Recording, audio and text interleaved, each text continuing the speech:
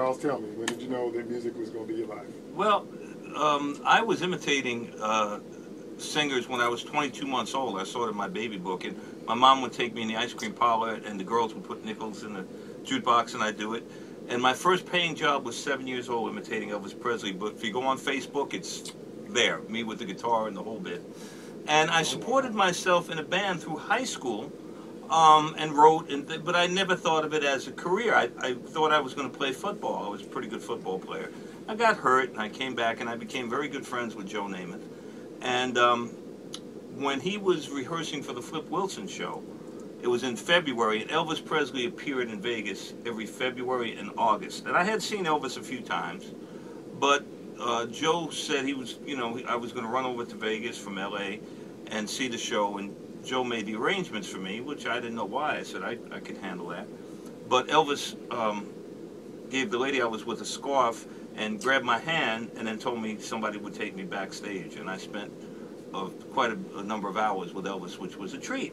I came back to Los Angeles and Joe had finished the Flip Wilson rehearsal and I met him at a restaurant called La Taverna on Sunset Boulevard. It was his attorney, who's still his good friend today, Jimmy Walsh, and this little strange gentleman at the end of the table who had a phone. There was no cordless phones even then. He was imitating Johnny Cash, and I said, Joe, that was really great. Elvis said hello, and and the guy said, oh, you saw Elvis? What'd you think about the backgrounds? And we get into this heavy musical conversation. And he said, what record label are you with? And I said, I'm not. I own Bachelors 3 with, you know, that Joe used to be involved with. And Jimmy Walsh looks at the guy. He said, "No, he's not kidding you." So the guy said to me, "Young man, I've never told this to anyone, but if you never thought about becoming a record producer, I suggest you do." And that gentleman's name was Phil Spector. So when he told me that, I started taking it seriously, and uh, I knew that nothing would give me the fulfillment. Money wouldn't do it. Nothing would do it. Is that this love of, of music? And I'm a fan. I've always admired great singers like Cuba and uh, I'm, I'm really a fan of great songs and great singers. So I said, what better way? This is my true calling, and and I've never looked back since then. Fantastic. That's fantastic. All right, two more questions and we'll be done. Uh, next question, second last question is, besides yourself, who is your favorite songwriter? God, that's tough. That is really tough. And it's tough not because I couldn't name a, at least 10 or 15 writers that have had songs that have lasted forever. But personally, from a selfish point of view, there's a fellow named Rudy Clark that wrote Everybody Plays the Fool. Everybody Plays the Fool was the first song that I sang when I joined the main ingredient in 1970. It's still on the radio now. This is 2012. It has only been copied by one other singer, and that was Aaron Neville. And went to number one. And it went to one uh, uh, to number one. So what we did was we had created a song that everybody knows, everybody loves, that has heard it, but it hasn't been. I don't want to use the wrong word here, but it hasn't been maligned with people doing bad versions of it. There's a song that I did called "Just Don't Want to Be Lonely." That was um, written by Bobby Eli and uh, the lady's name I can't remember Linda right Creed? now. Out of yeah, Linda Creed out of Philadelphia. Okay, that song was initially done by um, uh, uh, Ronnie Dyson, Isaac Hayes, a group called Blue Magic, and we just did it differently. We put a groove to it, kind of like this Christmas song I'm getting ready to sing. We, we have a groove and a pocket to it, so people can move their heads and feel the melody and the beauty of it at the same time. Those are the kind of writers that work for me. When you turn around and look at Tommy Bell, you know he is nothing but the consummate. He he took single-handedly a group called the Stylistics and made them household words in my lifetime. Now I like um, uh, the guy who wrote the music for West Side Story. I give my age away. It really doesn't matter. I like the fact that these guys melody. I like um. Oh God, um, he works Vegas all the time. Uh, um, well, it doesn't matter. The idea, the melody and the lyrics is the first thing for me. I don't have a favorite.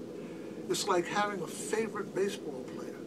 Okay, somebody is going to automatically say Jackie Robinson.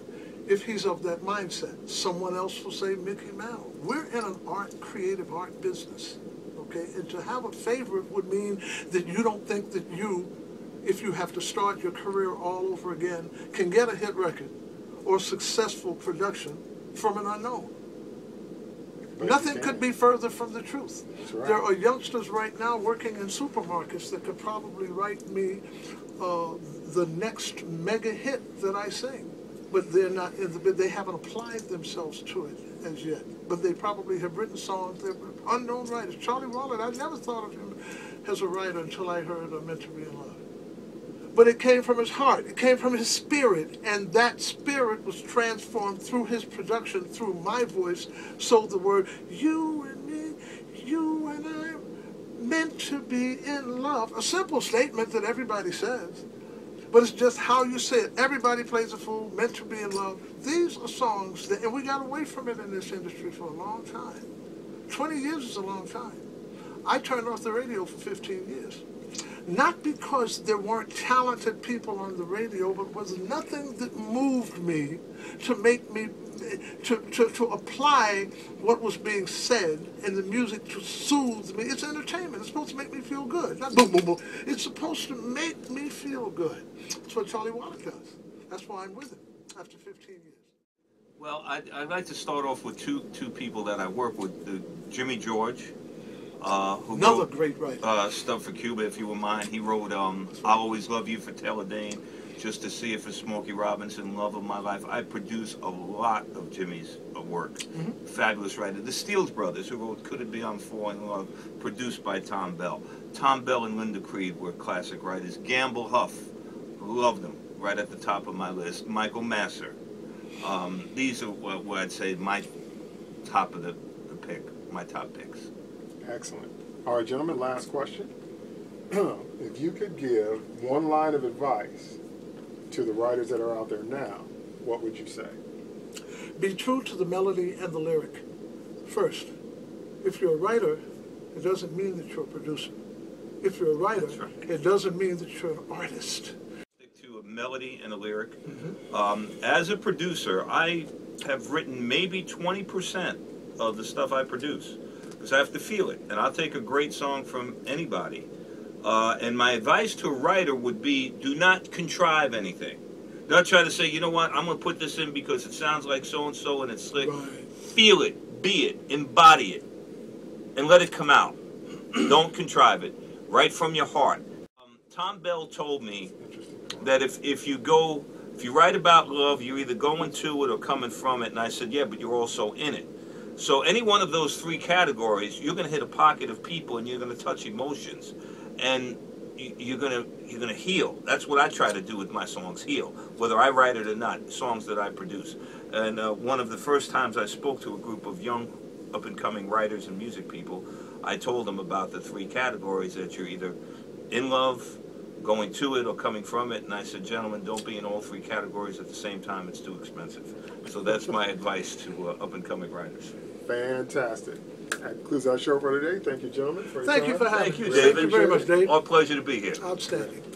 I'll let y'all later. So yeah, that was my interview with those guys, and it was completely awesome. I mean, they are like giants; they're legends in the music industry. So I'll put some links underneath the vid so you can check out Cuba Gooding Sr. and Charles Wallert, and most of the songwriters that we talked about as well. So you know my motto: never stop writing. Deuces. Blase blue da blue da bleep blop blue.